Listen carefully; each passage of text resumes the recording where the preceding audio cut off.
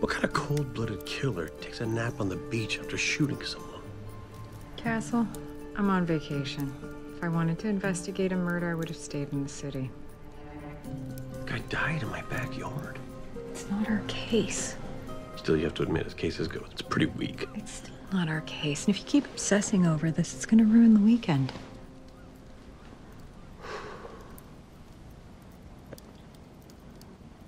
So what do we do?